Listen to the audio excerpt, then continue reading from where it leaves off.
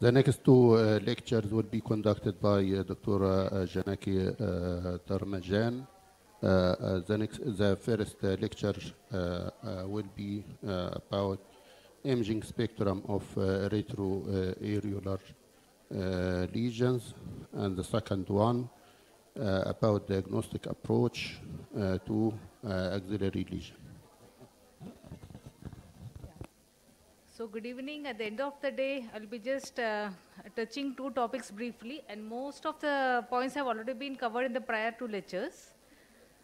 Uh, at the outset, I'd like to thank the organizers for having me here, uh, to making me a part of this prestigious event. So for the retroareolar lesions, we'll be going through the complex anatomy, the lesion visualization by ultrasound.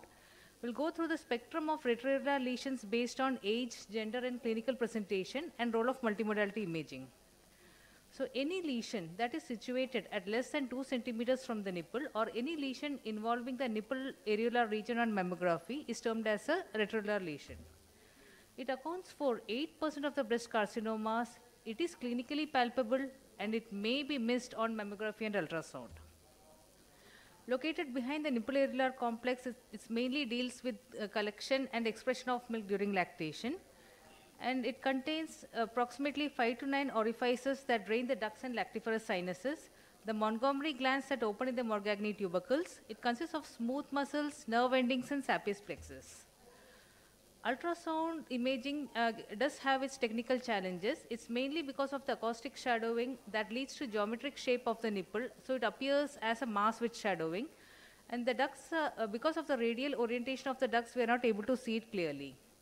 There is always inter-observer variation in labeling the location. Like one radiologist can call it as a lesion at 12 o'clock, the other one may be calling it as 6 o'clock. So always uh, labeling variation can occur. And ultrasound guided procedures are complicated and less accurate due to increased sensitivity and vascularity.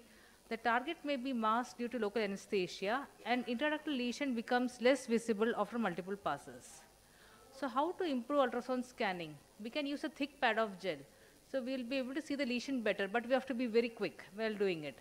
We can optimize the machine settings with adjusted focal zone um, near the skin. And always we have to compare with the contralateral side, which is very, very important. Proper scanning techniques have been described by Stavros, and I suggest all of you please go through it. Peripheral compression technique is used to see the peripheral retroareolar duct segments. The two-handed compression technique is used to visualize the central retroareolar duct segments. We can do a roll nipple technique for mammary to visualize the mammary duct within the nipple, and ballottement maneuver is to mobilize the intraductal material. So, what are the conditions that affect the retroareolar region? It can be because of developmental anomalies, benign processes like inflammation, infection, and tumors, and invasive, non-invasive cancers. Uh, non-specific clinical and radiological presentation is common, which leads to delayed diagnosis. And uh, there can be different clinical presentation imaging features, and our role as a breast radiologist depends on predicting the tumor involvement before surgery. Development anomalies can be unilateral or bilateral. It may involve the nipple, breast, or both. It usually present along the milk ridges in the axilla or intramammary fat, and most common is polythelia. We should be able to differentiate between athelia, amastia, and hypoplasia, and association with syndromes like Poland syndrome has to be considered. Tuberous deformity of the breast can occur, leading to glandular hyperplasia and this has to be, uh, we have to note it down so that the patient can be offered a corrective surgery. Underdevelopment of the breast, athelia means the nipple and the areola are absent, but and breast tissue is present. In amastia, nipple, areola, and breast tissue are absent. It can be either because of ectodermal dysplasia or it can be iatrogenic. And hypoplasia in which the nipple and areola are present and breast tissue is absent. So these are the conditions wherein the patient can be offered reconstructive surgery after uh, she uh, attains 18 years of age. This uh, uh, just to show how a tuberous malformation looks like, is contributed by my friend Dr. Tanvi. And uh, this is how a normal breast looks like in case of tubular breast. Usually there is um, the medial as well as the inferior portion of the breast, it's actually uh, maldevelopment occurs. And these patients can be offered, uh, the breasts are usually ptotic and they can be offered reconstructive surgery. Now, the most common features that uh, of the retroareolar lesions are either the patient will present with a mass or pathological nipple discharge. So just going to see how it affects different age groups because this is the most simplest uh, classification that I could think of. So in pediatric retroareolar diseases, it occurs during neonatal, it occurs during premature thelarche, gynecomastia, can present as a retroareolar cyst and abscess, or it can be a pathological nipple discharge. Infant breast is palpable with no gender variation, and it's because of the falling maternal estrogen, there is prolactin secretion by the neonatal pituitary. Unilateral or bilateral breast enlargement can occur, and there can be transient secretion of the milk in 70% of the term infants, termed as witch's milk. So we have to, it's very, very clear that any infant that is born preterm will not be having milk secretion. Nipples become everted, the areola becomes hyperpigmented, and stimulation at four months occurs due to infant's own hormones, and this usually lasts longer in females due to estradiol. And thereafter, the breast is quiescent up to two years. Then up to eight years, there's not much of a change occurring, and mainly the epithelium line ducts develop with surrounding connective tissue. Idiopathic premature thelarche occur, is seen in females between the age of 1 to 3 years, and it is not associated with precocious puberty. It usually regresses, and what is needed is only reassurance. Breast development in adolescence usually uh, begins as thelarche, and the mean age is around 8.9 years. And whenever the breast development occurs um, uh, in a child of less than 8 years of age, it is called premature thelarche. It, it almost comprises 5% of the cases. And when the breast development does not occur up to 13 years, it is called delayed thelarche. Early development can occur with or without precocious puberty. Uh, we should know that estrogen is responsible for development of a duct and as well as adipose tissue, and progesterone leads to alveolar budding and ductal growth. This, uh, especially if you are dealing with pediatric cases, this image has to be there. It's not uh, since we are not doing it on a regular basis, we may be forgetting it, but always keep this image with you. It's very very important. Uh, the Tanner's uh, stage one pre- prepubertal retroareolar bud. As uh, the stage one, two, we can differentiate. Three also we can differentiate. Stage four usually merges with that of the uh, stage five. And in stage 5 Tanner's, we see a mature breast tissue contour with disappearance of the central hypoechoic nodule. So we had an eight-year-old girl with painful, who presented with a painful right retroareolar lump. So what we are seeing is, uh, it's a Tanner's stage 2 asymmetric breast development. This is very, very important. This girl was lucky enough because we told her, okay, you got a, just a normal development. We had another girl who presented with a similar complaints, but when we saw that she was already having a scar on the opposite side, we asked the uh, child's mother, what, what, why is the scar there for? So what she told was, no, six months back the girl had a similar complaint. She went to a general surgeon. They removed the lesion. They thought it was a tumor. She told it's benign. So this poor girl, it's an iatrogenic removal of the breast bud. So we should be aware of this condition. We had a 13-year-old male with left breast lump, tender retroareolar lump. These kids are very, very sensitive. So we should be aware exactly regarding what they are undergoing. So this is an unilateral early nodular gynecomastia where only reassurance was needed. So gynecomastia is benign enlargement of the male breast glandular tissue. It's the most common breast condition with a prevalence of 32 to 65 percent. It's because of increased estrogen to testosterone imbalance and benign proliferation of ductal and stromal elements can occur. It presents as a palpable abnormality, may be just focal breast tenderness with subjective burning sensation. It can be unilateral or bilateral, and the DDs include pseudogynecomastia. That, that is, there is only enlarged breast with only fat and no stromal or ductal elements. It's usually a self-limiting condition uh, and becomes quiescent in about two years. And precocious puberty in males with gynecomastia, always the estrogen secreting tumors have to be excluded. Coming to retroareolar cyst, on ultrasound, it usually presents as a painless, simple anechoic cyst. It can be complicated by infection, wherein we can see fluid, levels, echogenic debris, internal septae, as well as internal vascularity. And majority resolves spontaneously with or uh, without conservative management. This was a 16-year-old girl who presented with a tender uh, left retroareolar mass, and 5 cc of abscess was aspirated, and she was managed conservatively. In girls, we do s- mastitis and abscess, they do have a bimodal distribution.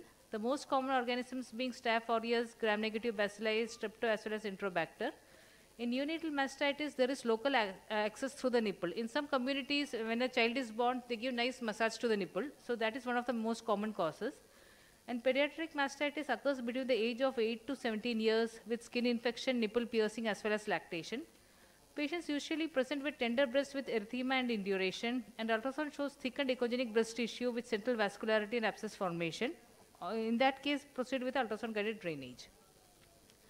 This was a 16 year old girl who presented with spontaneous left nipple bloodstain nip discharge. Ultrasound was performed that showed multiple dilated ducts with intraductal vascular echogenic components and they were seen bilaterally. An MRI breast was performed that also confirmed multiple dilated ducts in the retroareolar region. Core biopsy confirmed the presence of uh, uh, papillary lesions and subsequently she underwent excision biopsy and this is uh, bi- uh, rare, one of the rare case of juvenile, uh, bilateral juvenile papillomatosis. So this is a localized proliferative disorder of older adolescents and we do see, we do get peripherally located mobile masses of uh, 1 to 8 centimeters in size. Ultrasound shows peripheral multiple ill-defined masses with multiple simple cysts and occasional calcifications. Mammography can be performed in certain cases where it presents as a focal asymmetry with uh, rarely calcifications. And MRI shows lobulated mass with small internal cysts and marked enhancement. This is a high-risk lesion, and ideally they need complete wide local excision with monitoring. So this being a young girl, so we just uh, we are still following her closely. We told we complete your family and then we'll take care of the rest, but with very close monitoring. Coming to the retroareolar concerns in males, it usually consists of gynecomastia, can present as a mass or bloody nipple discharge. Any male who is 25 years or older with suspicious palpable breast mass on mammography needs initial evaluation with mammography and the diagnostic ultrasound. And if uh, mass is suspicious, uh, then we have to proceed with guided core biopsy. This was a 60-year-old male who presented with a tender uh, lump in the re- left retroareolar region.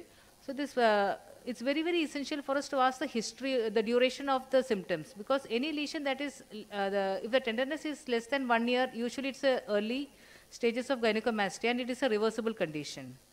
So this was a case of unilateral early nodular gynecomastia.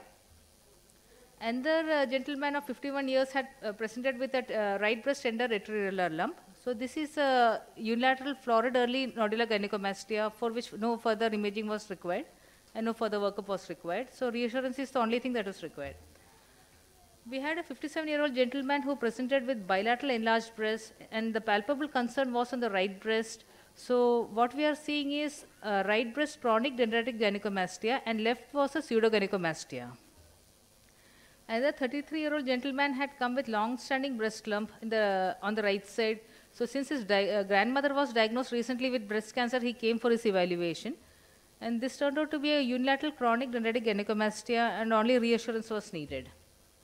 Male of any age, which clinical features of breast neoplasm, which can be in the form of suspicious mass, axillary lymphadenopathy, nipple discharge, and nipple retraction, we have to perform a diagnostic mammography with ultrasound.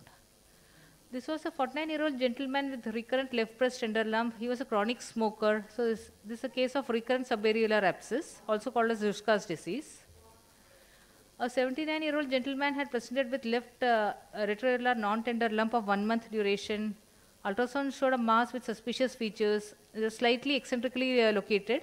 This was invasive mammary carcinoma luminal B and one of nine lymph nodes were positive. This was an 83-year-old gentleman with progressive left breast lump. So they showed a uh, complex polycystic mass and uh, core biopsy showed a papillary lesion and uh, uh, subsequently was subjected to mastectomy. This was intracystic papillary carcinoma grade 1 luminal A. Another 68-year-old gentleman had presented with left retroareolar mass and he was also having a single suspicious lymph node. We proceeded with core biopsy from the mass as well as FNAC from the lymph node.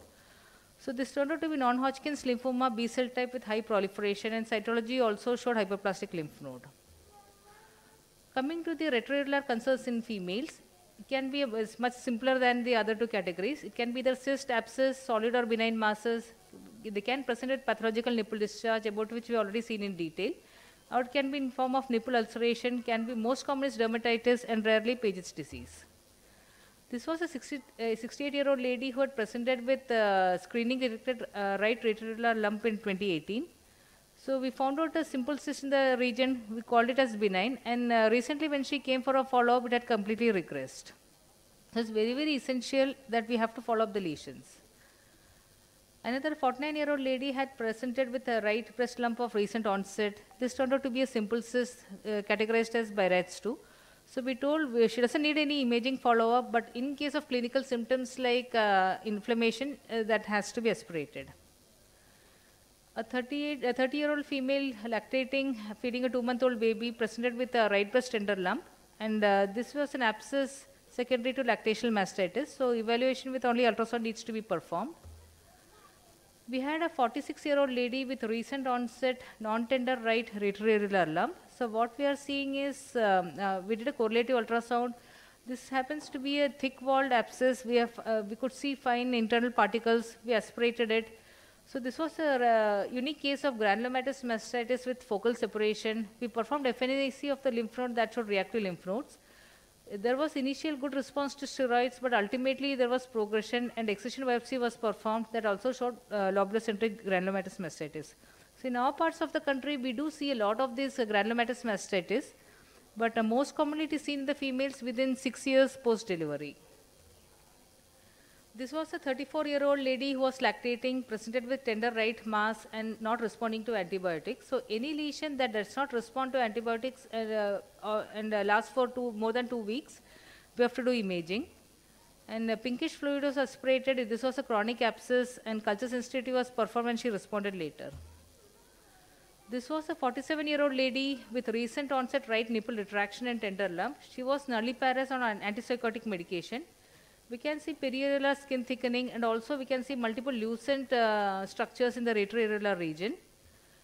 Ultrasound showed multiple dilated ducts with debris and uh, MRI was performed that showed uh, again, um, inflammatory changes with multiple dilated ducts.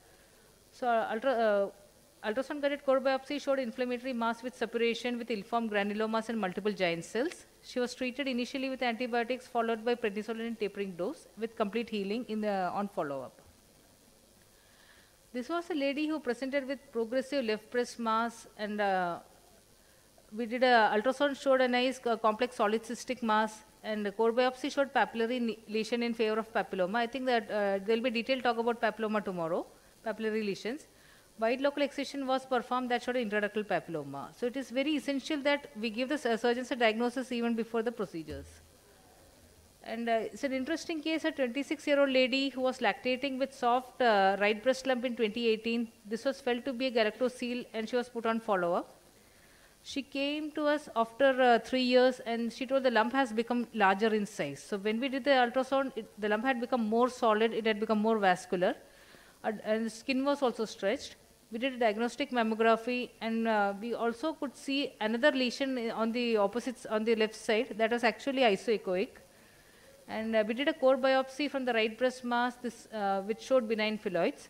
She was subjected to wide local excision, but ultimately the final pathology was juvenile fibroadenoma.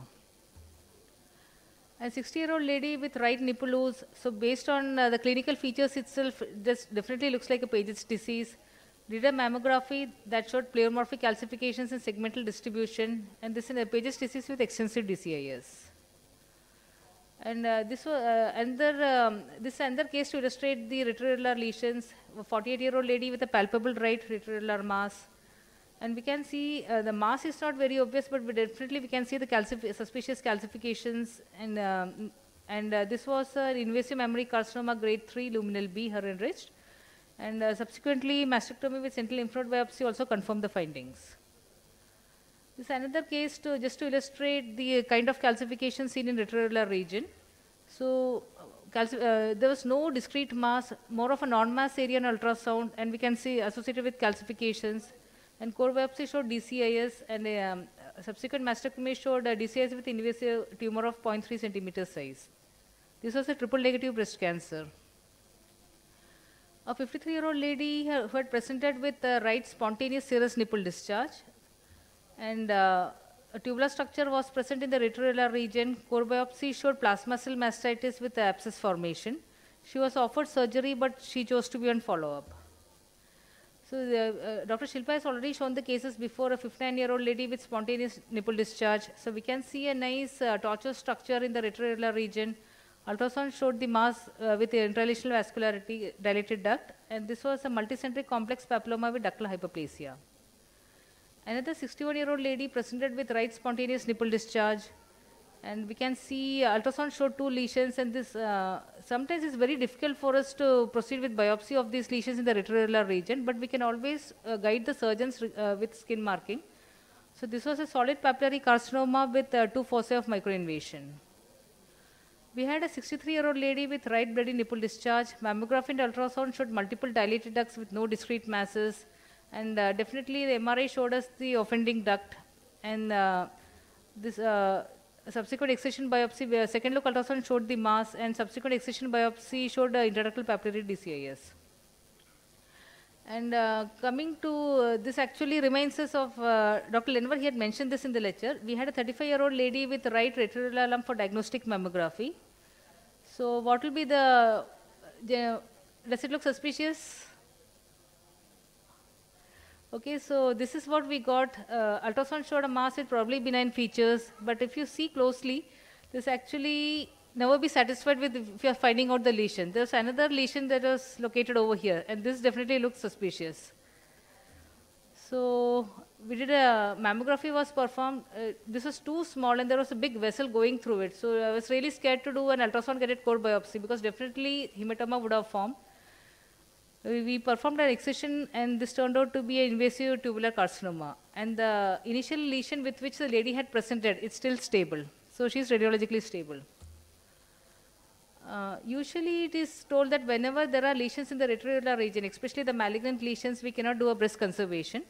So this was a 30-year-old lady with right retroareolar lump and the excision biopsy showed a DCIS. And uh, when we reevaluated, we found she was having uh, residual lesions and confirmed on MRI. So we went ahead with a skin sparing mastectomy and um, so in this way we can help the patient to, uh, towards the surgery. So the BI-RADS interpretation based on multimodality imaging, the ultrasound findings have to be correlated with mammography and MRI findings for uh, size, shape, location, surrounding tissue composition. We should always al also mention about the quadrant location, the depth and clockwise position, and distance from the nipple in centimeters. There is usually less variation in the distance of the lesion from nipple in different modality since the lesion is in the retroareolar region. If the clinical findings are worrisome and mammography is negative, additional ultrasound evaluation is suggested. If there are worrisome clinical concerns with abnormal mammography and if ultrasound is negative, we have to proceed with further workup. So suspected Paget's disease, uh, uh, we have to do a punch biopsy. If it is positive for malignancy, uh, do a diagnostic study. In case of nipple discharge, especially if it is um, uh, non-pathological, uh, uh, look out for the systemic causes and do a medical management. And if it is um, pathological nipple discharge, do a diagnostic study and proceed accordingly. In case of other symptoms like palpable mass, skin lesions or nipple retraction, patient above uh, 35 years do a diagnostic study. If below 35 years, then proceed accordingly. And in case of uh, strong clinical suspicion, proceed with MRI breast. And uh, if uh, we don't have any uh, imaging findings, always do a periodic follow-up in accordance with the clinical context. So appropriate techniques are essential to avoid pitfalls in the nipple areolar complex. Diagnosis requires joint assessment of clinical and multimodality imaging findings. Uh, inversion of the nipple usually differs from retraction and they can occur in both benign as well as malignant conditions and any inflammatory or infectious conditions require ultrasound follow-up study in 4 to 6 weeks to show that the lesions are resolving and in case of doubt always biopsy. So this is the first part. I think now we'll just go to the second one. So.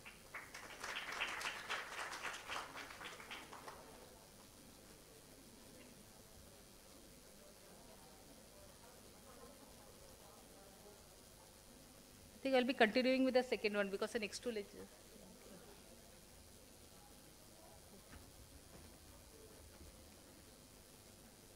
Next presentation? Yeah, excellent. Next presentation.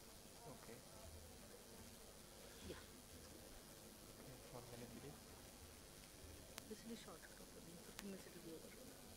50 to maximum 80. Okay. Maximum time? What? Maximum 20, not more. Okay. Okay, so coming to the diagnostic approach to axillary lesions, the Dr. Lewin has already covered all the uh, um, lymph nodes. I won't be touching much on that. So the relevant anatomy, imaging appearance of axillary lymph nodes, etiology, image-guided interventions, and algorithm. So already we know the axilla as such contains axillary veins, arteries, and branches, the brachial plexus and branches, intercostal nerves, lymph nodes, and uh, fat and fibrous tissue and vestigial breast tissue. So this we already seen regarding the level 1, 2 and 3 nodes, so I won't be going through it again. Normal architecture, this is very important because uh, especially for the abnormal lymph nodes, uh, they do enter through the afferent, via the afferent lymphatic. So we can see metastasis in the subcapsular sinus. So, and also once they involve, so this appears as a focal cortical thickness, and this is uh, when the lymph nodes uh, are, uh, the cortex is involved, this appears as a diffuse cortical thickness. And uh, this pattern usually gives a uh, heterogeneous appearance, and whenever they extend, extend out, it's called extracapsular extension. So the imaging modalities like ultrasound, mammography, what we see on MRI, and also PET CT, uh, the CT imaging when we, which we use for staging. And uh, ultrasound features we already gone through, so I'm not going through again. But only one thing what I uh, what I wanted to add from the is uh, usually the focal cortical thickness of 3 millimeters or diffuse cortical thickness of 5 millimeters. That is what the cutoff we keep uh, for uh, visualizing uh, for further workup. So normal shape, this is the abnormal shape, and the cortical thickness, and the, again the uh, this is the presence of irregular margins. So here actually the lymph node itself starts acting as a second primary, and from there it goes. This should not be confused to be a secondary uh, second ma mass. Blood supply again we have seen in detail, and the displacement of fatty hilum is also done. And uh, metastatic deposits that measure less than 0.2 millimeters are called isolated tumor cells. We should be aware of these things which we uh, see in the report. The deposits between 0.2 to 2 millimeters are called micrometastasis, and this level of disease is not identifiable at imaging. So, if any tumor board, if the patholo- if, the, if are told, okay, you could not identify this on imaging, we can always say maximum we can see something which is more than 3 millimeters. Anything below that, we won't be able to see. So, abnormal lymph nodes on mammography, the size being more than 2 centimeters, can be round or irregular with spiculated margins. Fatty hilum may be absent, they can be dense lymph nodes. On MRI, again, uh, short axis dimension of more than 1 centimeters, round shape, eccentric cortical thickness, and there, there is abnormal enhancement on T1 weighted images. And like this, one of the Rotter's lymph node based on MRI breast. And uh, now we come to the etiology based on tissue of origin. It can be nodal, uh, the lymph node can be in the, either in the form of metastasis or lymphoma, and non-nodal uh, with various reasons that uh, causes that we'll be seeing in detail. The nodal causes include uh, lymph nodal origin. Most common is reactive lymphadenopathy that occurs in up to 24% of the cases. It can be infectious, uh, can be like an abscess arising in a lymph node. It can be miscellaneous causes like autoimmune connective tissue disorders, dermatopathy conditions, foreign body, uh, usually the silicon granuloma, lymphoproliferative disorders. It can be malig- of malignant origin in almost 23% of the cases. It can be the distant metastasis, regional spread, uh, lymphoma, leukemia. Reactive lymphadenopathy is usually secondary to local skin and soft tissue infections or systemic infections on inorganic dust like silica. And TB is seen in almost, the TB of lymph nodes are seen in almost, eh, uh, consist of 8% in developed world and usually they present with internal echoes, calcifications and they are unilateral. So this was an 81 year old lady who presented with right axillary lump. Her breasts were fairly normal. We can see an axillary uh, uh, uh, mass in the axilla. Ultrasound showed a uh, collection. We uh, proceeded with aspiration or almost 25 ml of pus was aspirated. That was positive for AFB smear in culture. She was put on AKT and she uh, subsequently recovered. This is to show uh, a patient with the right um, a known case of right breast carcinoma and she was on surveillance. So PET CT was performed and that showed a, um, a avid lesion on the in the left axilla. So ultrasound, uh, we did an ultrasound. We found out this mass, uh, this enlarged lymph node. We did an ultrasound guided FNAC and that showed granulomatous lymphadenitis. So not all enlarged lymph nodes are malignancy. This has to be kept in mind. We had a lady who who had a biopsy proven left breast uh, malignancy and uh, her lymph node was showing focal cortical thickness. We did a FNAC and that showed granulomatous features. So the surgeon went ahead with a sentinel lymph node biopsy. And uh, finally, we have got, uh, it was a case of sarcoidosis in the lymph nodes with no metastasis. Metastasis to the lymph nodes, uh, main, uh, the most common cause is from the breast, or it can be non-breast causes also as uh, primary from the lung, head, neck, face, stomach, ovary, or ipsilateral arm. This was a 50 year old lady with right axillary swelling. Even though she was having um, multiple benign masses, but the lymph nodes were definitely suspicious. We did a core biopsy that showed metastatic carcinoma, luminal B. We, uh, entire workup was done. MRI was negative for the mass, and this was actually, despite uh, we could not find out the primary at all. So in these cases, what we did was uh, the patient was given NACT. And axillary lymph node dissection was done with followed by whole breast and axillary RT. So we did not opt for mastectomy in this case because we could not find the primary, but we gave whole breast RT to the breast with only axillary lymph node dissection. So it's very, very essential that we interact closely with the multidisciplinary team. This is just to show a patient with melanoma uh, in the right upper limb with metastasis to the axilla. And another case, um, male who uh, of uh, lung, uh, lung carcinoma who presented with axillary swelling and uh, subsequently the metastasis was proven by FNAC. Lymphoma presents as axillary lymphadenopathy in almost 30% of the cases, and the initially it is the axillary lymph nodes are the initial manifestation in almost 9%. The NHL affects lymph, axillary lymph nodes more commonly as compared to the Hodgkin's lymphoma. In ultrasound, we see them as round uh, lymph nodes that are hypoechoic, and hilum is usually preserved in almost 72% of the cases. Perinodal edema and calcifications are uncommon, and there can be mixed hilar and peripheral vascularity. That is, usually they appear hyperemic. This was a 57 year old lady with left breast enlargement and uh, axillary lump of two months duration. So initially we thought, okay, she has got a, uh, we could not find out any mass, but definitely there was skin thickening and we could see some lesion in the, uh, along the posterior aspect. Lymph nodes were enlarged. We proceeded with uh, biopsy. This was a high grade non Hodgkin's lymphoma double expressor type. And a few other examples to show lymphoma of the axillary lymph nodes. Uh, coming to the non-nodal causes, accessory breast tissue origin is very common, consist, uh, is the most common consisting of almost 19%.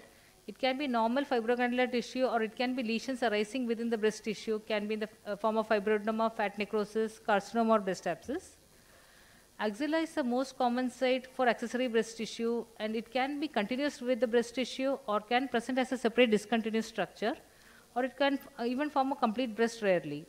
Accessory nipples are occasionally present and uh, breast cancer can occur anywhere along the remnant milk ridge. This is an axillary breast tissue in the form of uh, axillary fat pad that can be unilateral or bilateral. And uh, axillary fat pad with accessory parenchymal tissue, again it can be asymmetric or symmetric in continuation with the breast tissue. This was a 42 year old lady who presented with a left breast lump. So, uh, tomo uh, synthesis shows a fat containing um, area, and this actually turned out to be a hematoma. So, you can see a nice fat containing, uh, this was a palpable concern. So, this was a fat containing oval mass mixed, in, uh, mixed echogenic. And this was a, a classical case of hematoma. This subsequently excised because of her uh, clinical concerns. This was a lady who had multicentric biopsy proven right breast neoplasm, and uh, during the workup, we also found out uh, lesion in the right axillary region. And uh, this turned, uh, the subsequent mastectomy specimen showed this to be a fibroadenoma. So, just to show a fibroadenoma in the axillary region. And this was a 36 year old lady who was high risk, and she had a developing, uh, uh, palpable, developing palpable lump in the right axillary region and uh, this turned out to be a benign phyllodes on core biopsy. Another 43 year old lady had presented with recent onset right axillary lump and she had history of left breast excision biopsy for phyllodes three years back. And uh, this the lump uh, on tomosynthesis sequences. Uh, it was complex, actually complex polycystic mass. We did a core biopsy that initially showed myofibroblastoma. Wide local excision was performed, and this was a case of borderline phyllodes. We have been coming across a lot of these phyllodes that occur bilaterally. So I don't know if it's, uh, it has been observed all over the world, but in India, at least in the recent one year, we have seen a lot of bilateral phyllodes that occur at different times. So always that uh, possibility has to be keep, kept in mind. This was a 55 year old lady with right axillary lump, and definitely we can see a suspicious mass with calcifications, and this turned out to be a DCIS with microinvasion. Another 70 year old lady presented with a right axillary lump, and definitely this uh, is a suspicious mass, there is no doubt, with skin retraction. And uh, this was an invasive mammary carcinoma grade 3, almost 5 centimeters in size, and uh, it also had DCIS with one lymph node positive. A 43 year old lady had presented with lump in the left axillary region, and this was the mass with partially circumscribed margins and uh, uh, indistinct, uh, poorly vascular, and this turned out to be one of the rare cases of medullary carcinoma, uh, invasive carcinoma with medullary pattern in the axilla that actually is quite rare. And this was a luminal B, but with a very high proliferative index. Coming to the other uh, lesions of other origin like angiomatous, it can be either hemangioma or angiosarcoma. Lymphatic origin can be lymphangioma. Neural uh, can be schwannoma. Adipose, lipoma and liposarcoma are uh, relatively common. Muscular causes include rhabdomyosarcoma and rhabdomyoma. And uh, the oth- some of the lesions I have also not seen except in the textbooks. And the cutaneous origin include infectious soft tissue abscess or uh, epidermal inclusion cyst. This was a 60-year-old lady who had lumpectomy uh, with followed by RT in 2013, and she presented with progressive left axillary mass of eight, uh, 18 months duration. FNAC performed elsewhere was inconclusive with only blood, blood clot. This is the mass seen in the axillary region, and uh, ultrasound also showed a mass, but we could not identify the vascularity. But uh, um, we are not sure of the origin of the, the posterior extent of the mass, so that's why we asked for an MRI breast, MRI chest, and we could see that it was an uh, enhancing mass with multiple uh, vascular uh, malformations. So excision biopsy was performed. This turned out to be secondary angiosarcoma, low to intermediate grade. Uh, this was a 40-year-old lady with right axillary swelling, and uh, mammography was unremarkable, but ultrasound showed um, cystically dilated uh, structure. This turned out to be lymphangioma. Another lady with recent uh, progress of right axillary swelling and FNAC elsewhere showed hyperplastic lymphadenitis. So here our technicians are very, uh, we should, uh, if you're having a good technologist, half our work is done. She told that whatever lump she could feel, it's not included. Ultrasound was performed that showed a really large eh, mass actually, cystically dilated mass in the axillary region. Uh, cross-sectional imaging was performed in CT. We can see mass with enhancing internal septations. And uh, this turned out to be um, um, lymphovascular malformation with uh, acute and chronic inflammation. Another 42-year-old lady with a palpable left axillary lump. We can see that this actually fat-containing mass, and she also had a couple of lymph nodes within. It's a lipoma. This lady had right axillary swelling of seven years duration, and we can see that uh, the skin is also stretched. And probably when we did the ultrasound, we thought, okay, maybe this is a punctum which is leading to the skin. We labeled it as sebaceous cyst. It was excised, but uh, finally histopathology showed it to be a mature lipoma. And uh, 60-year-old lady for routine screening, just to show how a skin wart develops. And uh, this lady had a progressive left axillary swelling. Ultrasound showed a mass uh, that is poorly vascular. We did a core biopsy that showed keratin-like material, and uh, biopsy proven uh, a giant epidermoid cyst. Post-traumatic surgical procedures can occur in the form of localized collections of serous fluid. It can be lymphatic or blood. Mammography shows an equal density mass with irregular margins when soft, and it's a, it appears as a high density mass with circumscribed margins when tense. And uh, the hematoma, the hematoma, the collections seen it, uh, on ultrasound, it usually evolves with age. So it's anechoic when it is hyperacute. It can uh, the acute uh, acute lesions can be hypoechoic with low level echoes. When it is subacute, we can see irregularly marginated cystic spaces, and chronic uh, collections they are usually hypoechoic with thick irregular walls. So this is 74-year-old lady with left lump uh, incision biopsy with involved margins, and what we are seeing is actually a subacute hematoma, subacute seroma. This is an interesting case, and like we told, we need to have very good technologists. This was a 77-year-old lady who presented with a right breast palpable lump, and this was along the axillary, anterior axillary line in 2019. So this was not included in mammography, and uh, when we did an ultrasound, we can we could see a mass with uh, suspicious features, but we could also see that the mass was located along a scar. She was having an enlarged lymph node. Core biopsy showed invasive mammary carcinoma with necrosis, triple negative with a prol- high proliferative index. FNAC was also suggestive of a metastasis.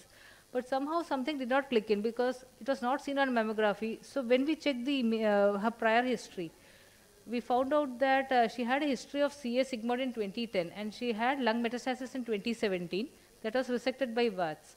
So what uh, the lesion had developed actually, it was along the site of uh, VATS that was performed for the uh, uh, resection.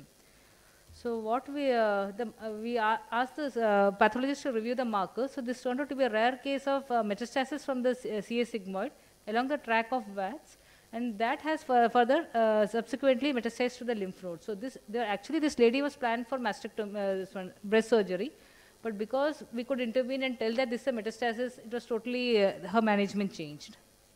So it's very, very essential to take the technologists into consideration and whatever they are saying, we have to believe them and go and uh, have a second look.